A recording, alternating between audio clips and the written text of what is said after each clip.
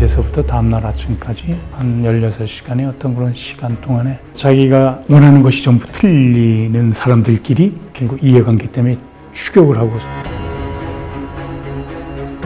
그 숨막히는 추격하는 그 상황 속에서 그 상황에 던져진 인물들 간의 그런 숨소리들이 상당히 생동감 있게 살아 있을 거라고 생각을 해서 많이 달렸어요. 그냥 달린 게 아니라 막 최고 속도로 막 엎어지면은 정말 굴러서 다칠 정도로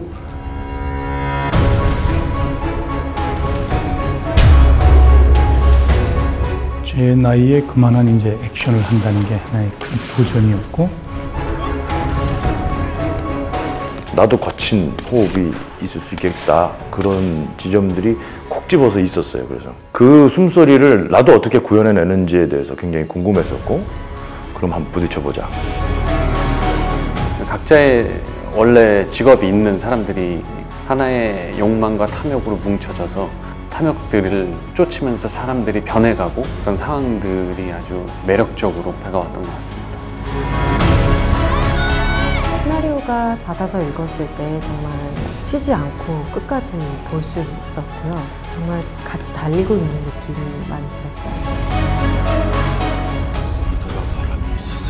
능력치와 이미지를 생각해 봤을 때 너무 좀 환상적인 캐스팅이지 않았을까 싶어요.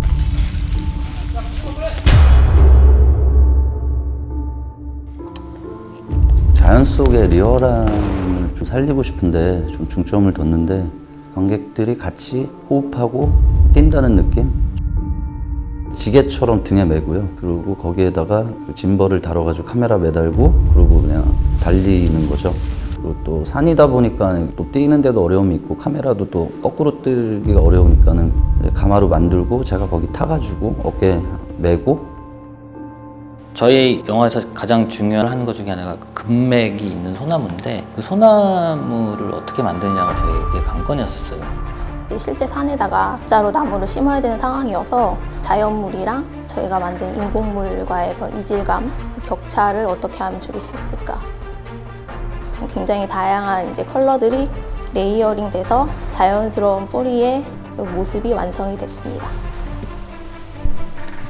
촬영에 적합한 산을 찾기 위해서 거의 전국을 다 돌았고요.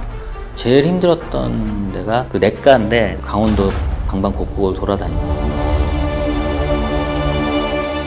정말 오래 기다리셨습니다 6월에 드디어 사냥 여러분들을 쫓으러 출격을 합니다 진짜 고생을 많이 한 영화 사냥입니다.